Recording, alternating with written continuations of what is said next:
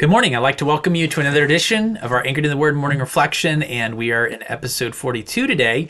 Uh, we're back in Luke chapter 8, looking at the parable of the sower. And so, if you have a Bible, I'd really like to encourage you to take it. Let's turn together and look at this uh, very important passage of Scripture. And uh, today we're going to start digging into some of the details. So, here's what it says Luke chapter 8, and we're starting in verse 4. When much people were gathered together and were come to him out of every city, he spake by a parable. A sower went out to sow his seed, and as he sowed, some fell by the wayside. It was trodden down, and the fowls of the air devoured it. Some fell upon a rock, and as soon as it was sprung up, it withered, and because it lacked because it lacked moisture. Some fell amongst thorns, and the thorns sprang up with it and choked it. Others fell on good ground and sprang up and bare fruit an hundredfold. When he had said these things, he cried, He that hath ears to hear, let him hear. His disciples asked him, saying, what might this parable be? He said, Unto you it is given to know the mysteries of the kingdom of God, but to others in parables, that seeing they might see, hearing they might not understand. Now the parable is this the seed is the word of God. Those by the wayside are they which hear, then cometh the devil and taketh away the word out of their hearts, lest they should believe and be saved. They on the rock are they which they hear, and they receive it with joy these have no root, which is for a while they believe, and in time of temptation they fall away. That which fell amongst the thorns are they which, when they have heard, go forth and are choked with cares and riches and pleasures in this life, and bring no fruit to perfection. And that on the gr- good ground are they which, in a honest and an honest and good heart, having heard the word, keep it, and bring forth fruit with patience. This is a very important passage for us to understand. And uh, the details that are here, because we're so familiar with them, a lot of times we fail to recognize the, the ultimate intent of what's there. And so last time, yesterday, we talked about the importance of understanding the nature of Scripture. And that really is at the heart of what we're talking about here in the parable of the sower. Well, today, what I'd like to do is I'd kind of like to give you a summary statement, and then I want us to dig into some very important details. And then from there, uh, throughout the week, we're going to get into interpretation and application. But today, we're just going to look at details. So, first of all, let me give you uh, the summary statement that I came up with for the parable. The parable of the sower was meant to prepare the disciples for the various responses that they would witness as they proclaimed the gospel of the kingdom. It was also to strengthen their confidence in the power of the word and to divert them away from pragmatic compromises and discouragement. When I think about what this parable is all about, if you are in ministry or you have any desire to reach people with the gospel or to see their lives built on the truth, you need to understand the, the content of this particular parable. And so he wants to encourage, he wants to build their confidence in the Word of God, he wants to prepare them for the kinds of things that they're going to encounter, and he wants them to make sure they don't compromise the message in any way. So let's look at the details. The first thing I'm going to show you from these verses is found in verse number five. A farmer goes out and he does his job. If you're a farmer, you have really two jobs. One is to plant the seed and then to bring in the harvest. And in between, obviously, you're going to take care of what's there. But in this particular passage, the way that he puts it is he says, A sower goes out and he sows his seed. The next detail is extremely important. And by the way, the way that this farmer, excuse me, did his job is actually very different than the way that I would do my job as someone who loves to garden in my own yard. Uh, I am very cautious about uh, building up raised beds. I put in uh, compost in, in the fall and in the winter so that it all breaks down during the cold months. And uh, I've got trellises that I've built in my backyard for grapes and for all different kinds of things that are growing. But that's not the way that this particular guy is planting the seed. Notice what it says in verse 6. As he sowed, some fell. And he talks about all the different kinds of soils that it falls on. We're going to get into that in just a second. But the way that he plants the seed is that without any deliberation, without any discrimination, he takes the seed and he just spreads it in the field where he ha- where, where he is. This is different than the way that we farm. You know, if a person is uh, has a, has a massive farm, they have tractors and they they till the soil and they plant the seed in rows. If someone has a backyard garden, they have raised beds, all those kinds of things. That's not the way he's doing it. He's just, without any kind of deliberation, he's not saying, Oh, I'm not going to sow that area because that soil's not good. He's not going out and digging up the soil. All he's doing is taking the seed and he's just spreading it indiscriminately. And that's very significant to what Jesus is getting at in this parable. So don't miss that detail. The third detail that I want us to notice is that the seed fell on different kinds of soil environments. So it says in verse number five, some fell on the wayside. When he uses the word wayside, the idea is this is a walking path. So this is a large field, and there were certain places where people probably cut across the field, or there are places where people were walking alongside the field. And so as he throws out the seed, some of it lands on places that the ground is, is as hard as concrete. it's still soil, it's still dirt, but it is so compacted that there's no way that the seed can penetrate that soil. The second environment that's mentioned is in verse 6. It says, Some fell upon a rock. And when he talks about a rock, what he's saying is this is an area where there are large boulders or stones under the surface. There's a little bit of soil that's that's up on top of that, but but for all practical purposes, this is like a pile of sand on your driveway, okay? And so if a seed falls on a pile of sand on your driveway, it is possible that you could get uh, something growing there, but the truth is that as soon as the summer heat hits that, it's just going to die. It doesn't have the ability to plant roots down deep. And so it's not totally different than things falling on the wayside where the ground is as hard as concrete. The third thing that we see is in verse 7 he says some fell amongst thorns. Now there were certain places in the field where uh, there were there were briars and there were there were weeds that were growing everywhere, and the seed falls in that area. And the environment is uh, it's hell it's it's it's good enough that the seed could actually germinate and that a plant can maybe start to grow. But the problem is that everything around it is growing as well, and so what's growing around it eventually is going to choke it out. It doesn't have the ability to to grow to maturity and to produce fruit. This reminds me of when I was in Ghana and I decided to uh, to take uh, corn and I decided to, to, to, grow that and peanuts at the same time. Well, the first time I did this, um, I planted I planted the peanuts first, and then as the peanuts were growing, I I tried to plant the corn up in there. I thought, well, the corn grows faster than the peanuts, and so it'll be fine. Well, what ended up happening was the corn never got taller than the peanuts, and eventually what we had was no corn, just peanuts everywhere. So I learned from that. And I realized you got to plant your corn first. And when it gets to a certain height, that's when you can put all of your peanuts in there. That's kind of the picture that we have here. That my situation, I was planning it, he wasn't planning it.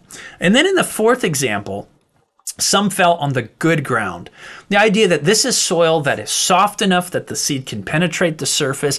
It's deep enough that when the seed germinates, it's able to plant roots down deep. Um, it's an environment that is conducive for growth. There are different kinds of soils. And when he throws out the seed, he does not discriminate between the hard, the rocky, the thorny, and the good ground. He just throws out the seed everywhere. That is a really, really important detail. The fourth thing I want you to notice that is in, in that all four cases, there was a potential for the seed to produce life that produced fruit. Okay? There was nothing wrong with the seed that fell on the hard ground, and there was nothing wrong with the seed that fell on the stony, rocky ground. There's nothing wrong with the seed that fell in the places where there were thorns or where the ground was good. The seed wasn't the problem. The seed had the same nature, it had the same ability to produce life, and that life ultimately to produce fruit.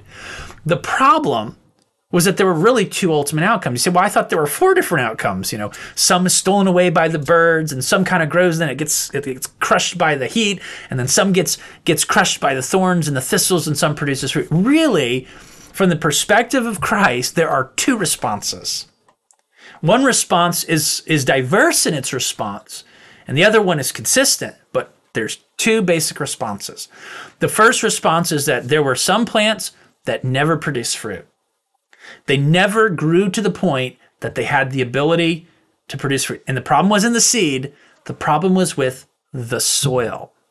The second is a, is a group that when it was planted, it produces fruit. Now, what's interesting about, about this passage in Luke chapter 8, if you compare it to the Matthew passage, Jesus makes a distinction the Matthew passage, or Matthew records the distinction that Jesus makes, that even though some plants, a bunch produce fruit, they didn't produce it equally.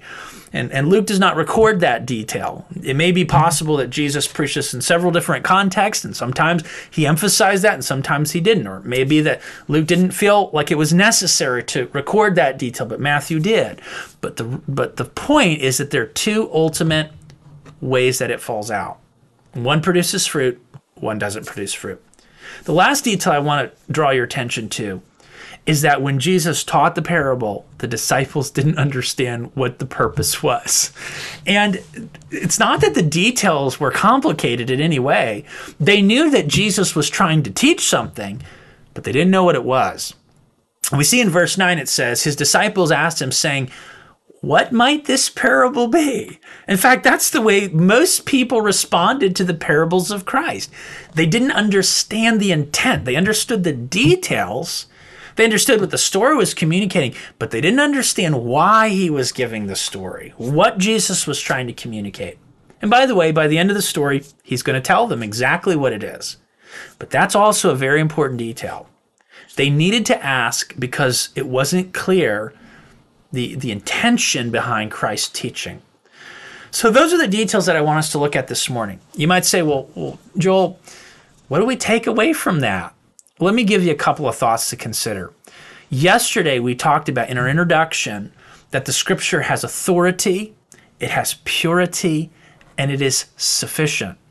That means that when we read the scriptures, we're reading God's words, not just his thoughts or his ideas or his doctrines, his words. Very, very important. Every word God breathed. We talked about the fact that the Word of God is pure. The Scriptures are pure because God is the ultimate source. Not a man. God used men, but they're not the ultimate source. When we talked about sufficiency, we recognize that, that there was a specific body of information that God wanted to give us, and that body of information is fully sufficient to grow us to maturity, to uh, to give us the information we need to honor and obey God, and to do what honor what pleases Him, to know Him to the extent that we can on this side of of glory the scriptures are sufficient. We don't need to go to dreams and to visions and what does my pastor believe and what does my seminary professor believe or what impressions popped into my head when I read the scriptures. No, the scriptures are the authority, not these other things. But there was another word that I mentioned that's important, and that's the word clarity. Clarity means that when God says it, it's clear. He says it distinctly enough that you should be able to understand it. He's not trying to trick you, he's not trying to deceive you. He's trying to communicate truth in a way you can understand, you can comprehend, and you can respond to. But clarity does not guarantee understanding. Just because God has spoken clearly doesn't mean that you understand it. Let's say that you're playing baseball. You could throw you could throw a strike right down the middle and the catcher can still drop the ball, okay? So the fact that God gives you the truth with clarity doesn't mean you're going to understand it. And so you say, well, well, how do we get to the point where clarity becomes understanding? That's actually really the point of this entire uh, this entire passage of scripture. The point is, it's the heart disposition. It is the disposition of the heart when the scriptures are brought to it that are going to ultimately determine understanding or a lack of understanding. Someone beginning to recognize the truth and act upon the truth, and someone being continually blinded to it. And you say, well, what kind of a heart is necessary for us to understand the truth? Let me give you some, some important, simple thoughts. One, it's a heart that is attentive because it's willing to notice details. If you want to understand the scriptures, you have to be attentive to what God is saying, where you notice the details. Some people say, "Well, I'm not naturally inclined to be attentive." I if you believe something is true, and you believe it's a matter of life and death, eternity, and it's a matter of understanding God's ways or not understanding God's ways, if you recognize this as His word, not just some man's opinion, then you begin to recognize the need to be attentive to it. The second word is the word humility. Am I willing to submit to what God says? One of the reasons we don't understand Scripture is because we don't want to understand it. We don't want to hear what God has to say. We have a bias, a predisposed bias against the Scriptures.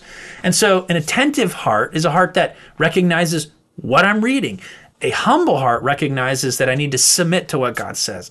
The third word is the word fervency. Am I willing to dig? Am I willing to ask questions? Am I willing to do the work necessary so that understanding can, can come? The disciples had to say, Jesus, we don't get it. Why did they do that? Because they wanted to understand. They recognized what he was saying was true, even though they didn't understand it. They recognized that it was meant for them, and so they asked the question. And so I asked this question Are we willing to go and humble ourselves and say, Can you give me clarification here? Sometimes what we need to do is go to an older believer and say, Hey, I'm reading this passage of scripture. I'm kind of confused. I don't understand it. Can you give me some insight? And they may sit down with you and say, you know, that's a diff- that's a very difficult passage of scripture. That's a hotly debated passage of scripture. It may be that they can say, you know what? That that passage is a little bit tough to understand, but let's work through it. Let's talk about the details and how it applies. That's what you have to do sometimes. So here's the simple question this morning. Do you have these qualities? Do you have a heart that wants to know the truth? If you have a heart that wants to know the truth, you'll be attentive to the details, you'll be willing to do what it says, you'll be fervent in digging, and you'll ask questions when you need to. My challenge to each of us this morning is that is how we will come to the scriptures. The details of this passage are very, very important, and I hope that it helps you for tomorrow as we continue in our study. Have a great rest of your day, and Lord willing, we will meet again tomorrow. Bye now.